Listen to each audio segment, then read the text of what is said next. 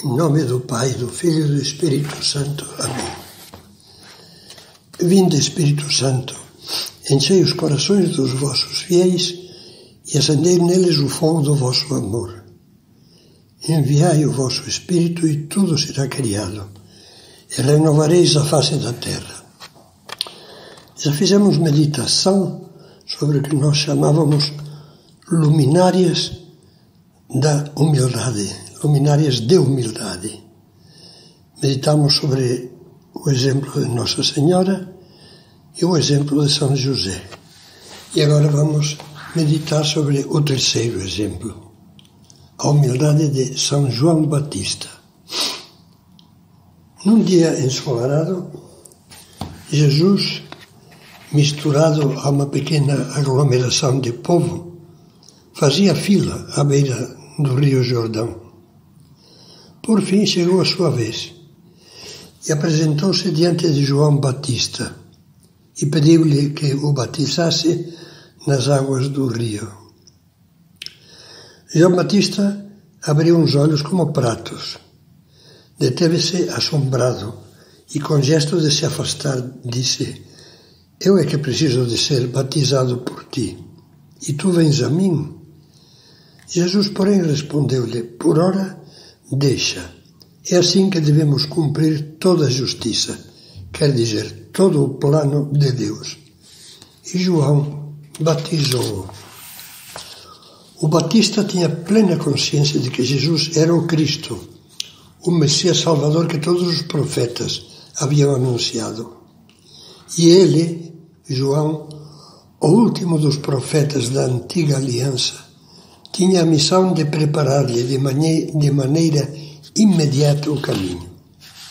Antes do batismo de Jesus, João claramente havia ensinado: Eu vos batizo com água para a conversão. Mas aquele que vem depois de mim é mais poderoso do que eu, e eu não sou digno nem de levar suas sandálias.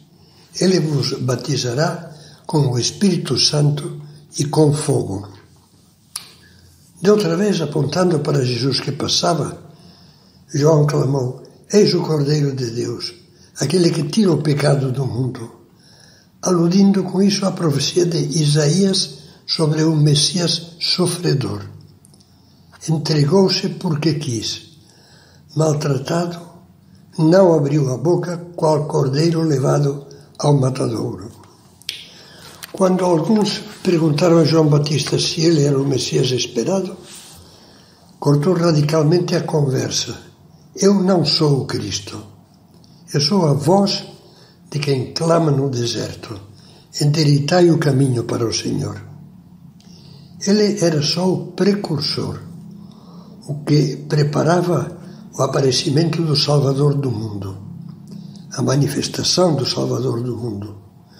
Quando Cristo começou a se manifestar publicamente, anunciando que havia chegado o reino de Deus, João se retirou humilde e feliz.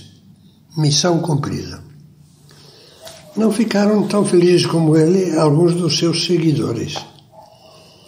Tendo a notícia de que Jesus fora com seus discípulos para a terra da Judeia e permanecendo ali com eles batizava, ficaram enciumados e foram falar com, com João: Mestre, aquele que estava contigo do outro lado do Jordão e de quem tu deste testemunho, está batizando e todos vão a ele.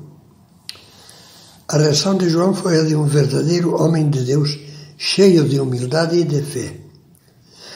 Vós mesmos sois testemunhas, respondeu, daquilo que eu disse eu não sou Cristo, mas fui enviado à sua frente.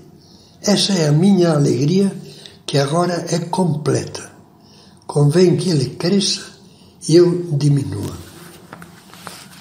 Com que transparência, com que clareza nós contemplamos a humildade de João. Que bonita é a alegria de quem se entregou por inteiro a uma missão divina sem procurar louvores sem querer o reconhecimento nem a admiração de ninguém, e sem menos ainda atribuir-se méritos que não lhe correspondiam. ele só desejava cumprir a vontade de Deus, preparar o caminho para Cristo. Então, que grande alegria não foi a dele quando viu a obra de Cristo se iniciando e crescendo. Uma alegria completa, dizia, que tem como símbolo a beleza da estrela d'alva, que anuncia o dia e se apaga quando aparece o sol. Quantas dessas alegrias nós temos agora ou já tivemos? Isto é, alegrias puras, desprendidas, humildes, que nos faz sentir feliz, felizes pelo bem e o sucesso dos outros, mesmo que por isso eles passem à nossa frente. Penso, por exemplo, nos mestres, dirigentes, chefes, gerentes, empreendedoras, empreendedores que ficam ciumentos com o progresso dos seus subordinados, temendo que lhes façam sombra. Não será que, em vez disso, a nós nos domina a inveja? A tristeza que nos leva a comparar-nos, a temer e denegrir os que nos superam? Ou seja, a tristeza causada por um bem alheio, que é a definição exata da inveja. A propósito disso, mais de um já disse que neste nosso tempo as redes sociais, para além dos benefícios de informação, relacionamento, trabalho e cultura que nos trazem, acendem uma perigosa fogueira das vaidades, para usar o título de um livro de Tom Wolfe. Uma fogueira de vaidades que crescem como espuma, uma fogueira de invejas que acabam acaba com muitas alegrias simples e com belas amizades, e que deixa um bom número de pessoas, sempre se comparando com as outras, com o azedume da frustração, deprimidas, e até mesmo com o ódio gerado pela inveja.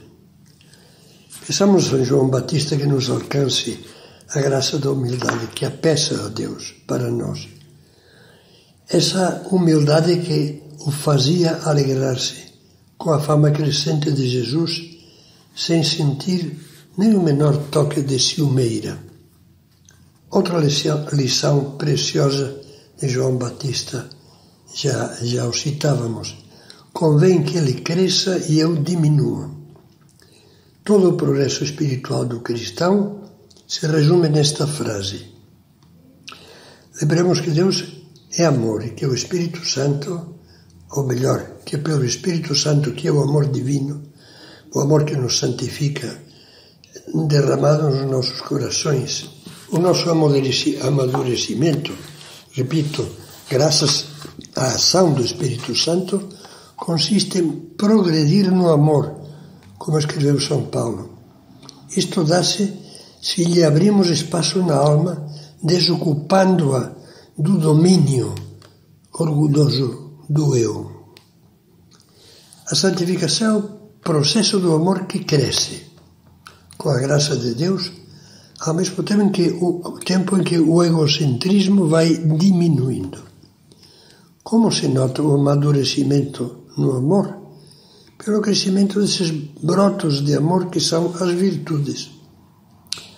O amor faz crescer a fé, a confiança, dá vida e vigor à fortaleza para lutar contra as más inclinações e tenacidade para perseverar, dá vitalidade à caridade, à dedicação ao próximo, proporciona garbo e coragem, coragem para carregar a cruz com paz e até com alegria. Quando percebemos que o nosso eu grita demais, eu quero, eu não gosto, eu não posso, é demais para mim, tenho o direito, não me incomodem, etc. Isso significa que Deus diminuiu em nós, ao passo que o egoísmo cresceu demais. Peçamos ao Espírito Santo o amor que nos falta. Um amor como o de João Batista, que queria fazer da sua vida um espaço de serviço totalmente aberto, aberto ao amor a Deus e ao próximo.